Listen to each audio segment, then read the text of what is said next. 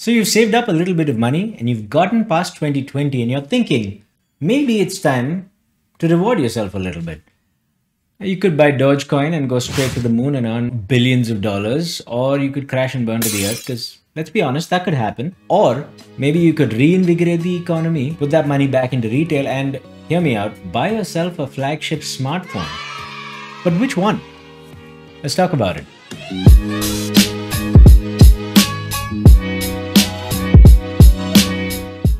So how did I go about making this video? Well, I started off with a lot of research. I went to websites like Android Authority, GSM Arena, and so on. I went to YouTube reviews that are in-depth and hands-on, and I started making notes. Notes about all the little things that were different between the flagship phones available to us. And I threw it all away because I came up with two realizations. One, most people are not going to be spending money on Xiaomi, Oppo and Vivo if they're going for flagship phones. These brands are not known to be flagship, they're not known to be that premium. They've taken a lot of market share in the $500 segment and sub $500 segment, but none of them really appeal to anyone who's spending north of 800 to $1000 including the Xiaomi, which has a solid contender for the flagship category this year. But Xiaomi is known for having adware and bloatware in their operating system. And until people get over that, until they prove themselves to have moved beyond that, I don't think they're a serious contender, not in people's minds anyway. Huawei is not really available in some parts of the world, and Google services are simply not available for Huawei as well, so I've eliminated that. And that leaves me with OnePlus and Samsung. Yes, I have a bias towards OnePlus, but I think you'll see in this video that I've been more than fair to both of them. The second realization I came to was that between the two operating systems, the user experience has become very, very similar and as such is not going to provide you much of a difference. iOS users will probably stick with iOS. Android users may go either way, but really Android's come a long way and there's no reason to swap over anymore. So what is it that's really important to people? Well, I decided to sit down and look at various smartphone surveys that were posted online and there seemed to be a common theme.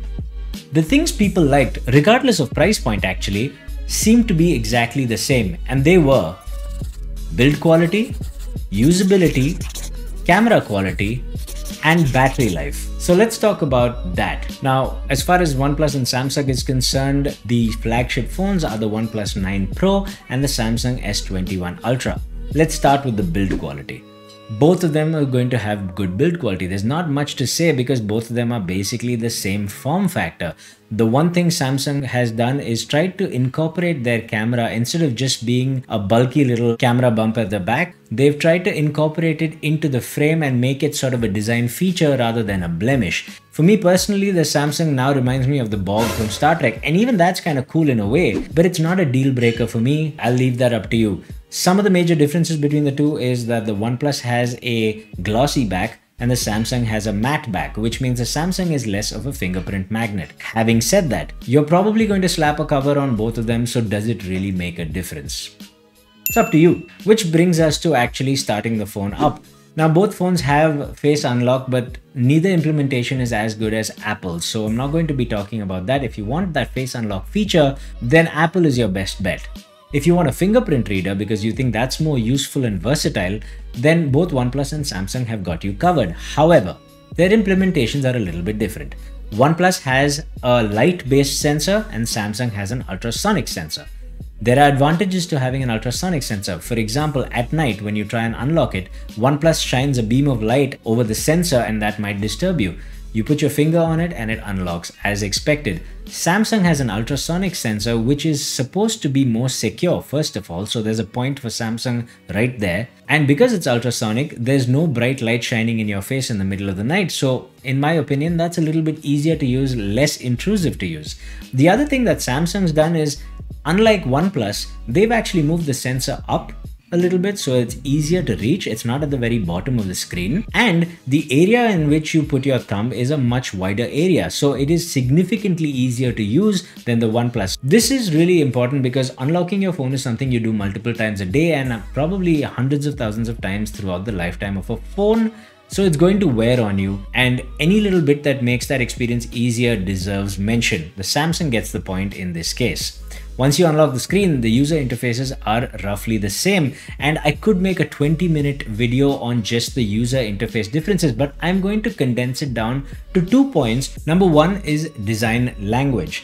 Now, the design language of OnePlus and Samsung is different, but they both go for sort of a minimalist Android approach, and they're both quite good. Having said that, Samsung generally seems to have this rounded square, rounded rectangular look to all its menus and icons, where OnePlus tries to minimalize the number of lines, they tend to be more minimal and they tend to be cleaner, whereas Samsung is also quite clean but you've got those menu items surrounded by those rounded rectangles, you've got the icons that are rounded squares, and so on.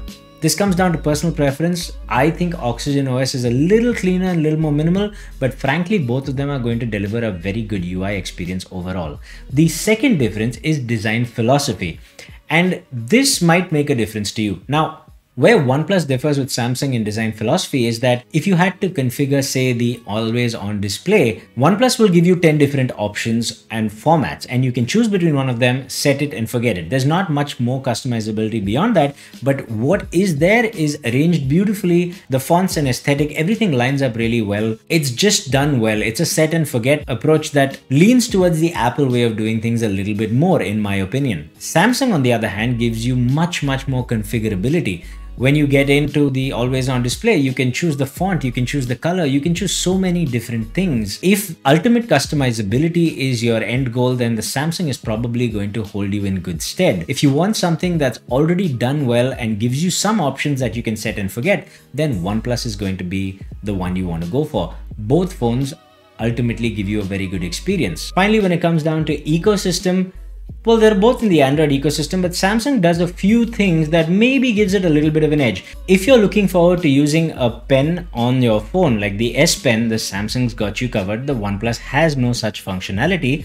You have to buy the pen separately, but it works really well with Samsung devices. There are a couple of other things that Samsung gives you, like the Samsung DeX functionality. If it's important to you, you can connect your phone to a display, a Bluetooth keyboard and mouse, and use it as a desktop. You have a desktop experience that runs from Android. It's actually pretty good if that makes a difference to you. On top of that, Samsung also allows you in Windows to use its Android apps on your desktop. That's a pretty cool functionality if you want to just not keep switching between devices you can use basically the Samsung phone on your computer without having to open up your phone and pick it up. That's another point in favor of Samsung. These functionalities, these add-ons that Samsung gives you, OnePlus has not been able to offer all these things and therefore I kind of give the ecosystem point to Samsung even though they're both on the Android ecosystem. That brings us to battery life and camera quality. Now, let's talk about camera quality first. And in this case, OnePlus has made leaps and bounds with its partnership with Hasselblad, with the incorporation of newer, bigger sensors, and so on. And you can see this in their photos. All the tech YouTubers out there say that the OnePlus camera has produced better quality colors.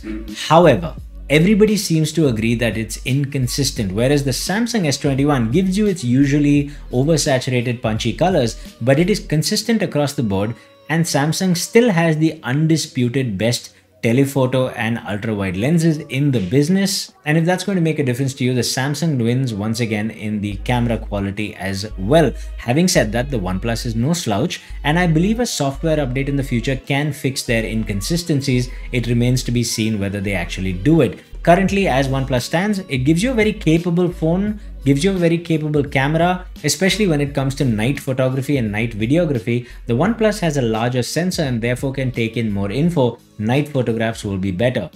Having said that, the S21 gives more consistent results and does a very good job at night as well. So I have to give it to the Samsung for camera quality. Now you've used your phone all day long, you've used that camera and you've come back from a long day of work you want to go out with your friends. Which of them are going to have enough battery left over? Well, the answer is both of them are going to have roughly the same battery. Samsung comes with a 5000 mAh battery while the OnePlus comes with a 4500 mAh battery.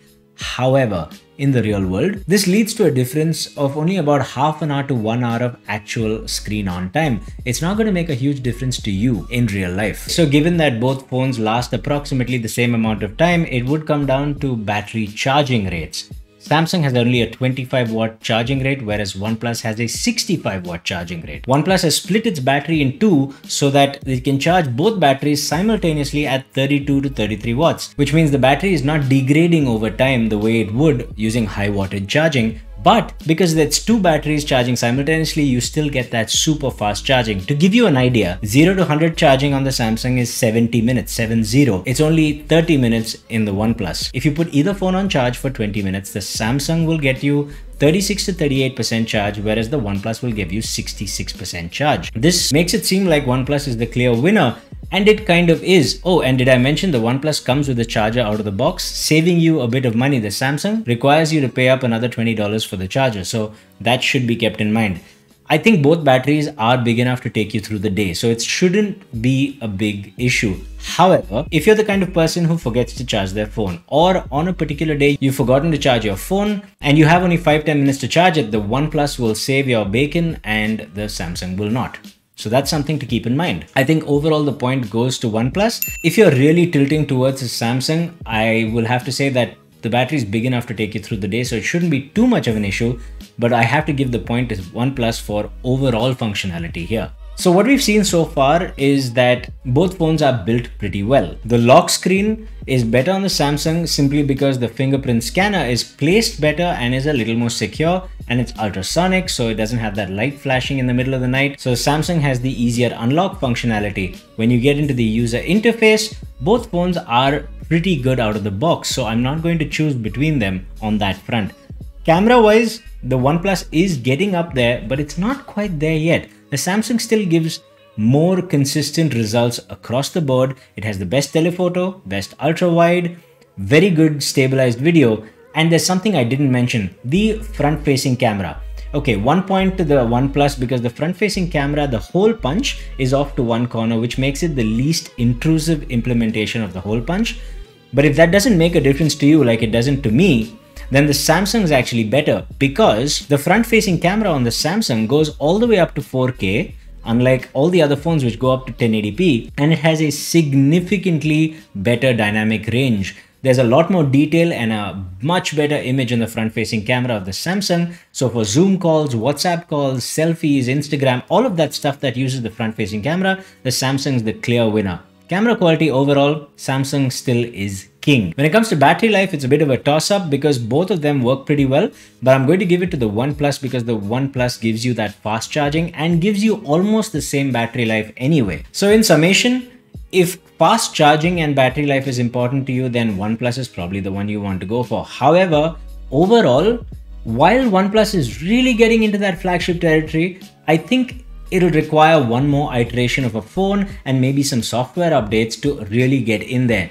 Till then, I have to give it to the Samsung. Overall, it gives you better, more consistent quality across the board. And uh, oh, the OnePlus gives you two years of software updates and three years of security updates, and the Samsung ups both those numbers by one. Three years of software updates, four years of security updates, which means the Samsung will keep your phone updated right up to the point where you're probably going to upgrade your phone the next time. That's also another point in Samsung's favor. So I think I have to conclude this video saying Samsung is kind of the clear winner so far.